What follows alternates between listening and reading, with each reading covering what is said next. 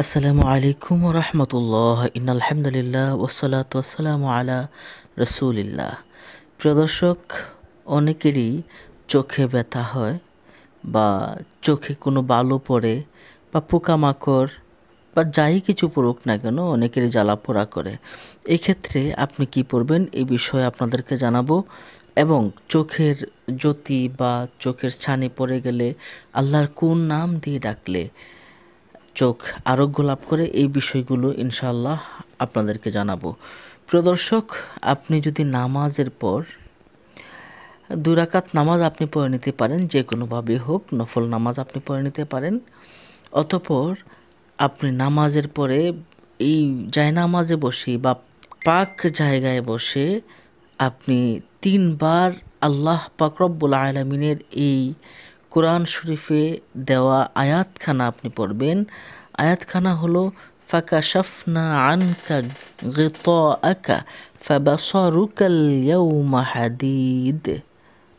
আমি আবারও বলছি ফাঁকা শফনা আনকা গেত আকা ফাবাসরুকাল ইয়াউমা হাদিদ।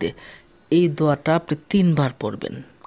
তিনবার পরে আপনি ফু দিবেন, দেখবেন যে আপনার চোখের ব্যথা কমে যাবে। এভাবে আপনি বারবার পড়লে চোখের ব্যথা কমে যাবে এবং চোখের পাওয়ার বৃদ্ধি পাবে। এছাড়াও আপনি আল্লাহর এই নামটি যদি এগারো বার পড়েন, ইয়া নুরু, ইয়া বসিরু, ইয়া নুরু, ইয়া বসিরু, এভাবে আপনি যদি এগারো বার পড়েন অতপর চোখে ফু দেন, তাহলে আপনার চোখের জ্যোতি বৃদ্ধি পাবে, চোখের আলো বৃদ্ধি পাবে এবং চোখ কখনো নষ্ট হবে না। সুবাহান্লাহ প্রদর্শক, এছাড়াও চোখের মধ্যে যদি কোনো বালুকণা পড়ে বা কোনো পোকামাকড় পড়ে বা এমন কিছু পড়ল ভিতরে, বের হচ্ছে না, তাহলে আপনি বাম হাতের তালুতে সরিষার তৈল নিয়ে ডান হাতের শাহাদাত আঙ্গুলি দ্বারা ঘষে আপনি এই আয়াতখানা পড়বেন, সুম্মুন বুকমুন অমিউন ফাহুম লায়ারজিউন এই আয়াতখানা পড়লে এই যে কোনো বালুর কণা বা পোকামাকড় যাই পড়ুক না কেন, এটা ভিতর থেকে চলে আসবে। আপনি পড়বেন, সুম্মুন বুকমুন অমিউন ফাহুমলা ইয়ারজিউন।